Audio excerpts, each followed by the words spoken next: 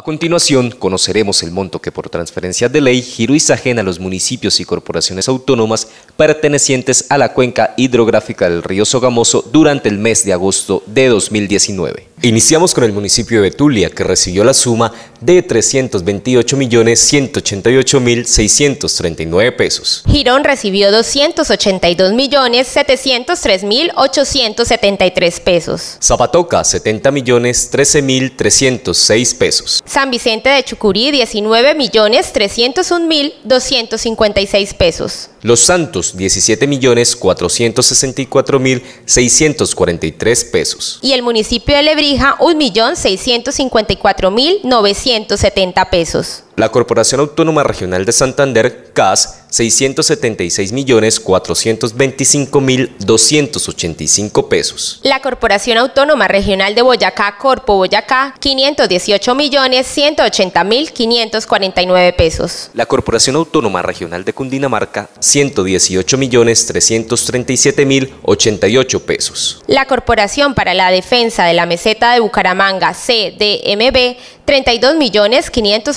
32.588.109 pesos. En total, para el mes de agosto de 2019, la central giró la suma de 2.691.055.347 pesos a los 155 municipios aportantes a la cuenca hidrográfica del río Sogamoso y a las cuatro corporaciones autónomas en el área de influencia. Los dineros girados podrán ser aprovechados en proyectos relacionados con el saneamiento básico, el suministro de agua potable y el mejoramiento ambiental.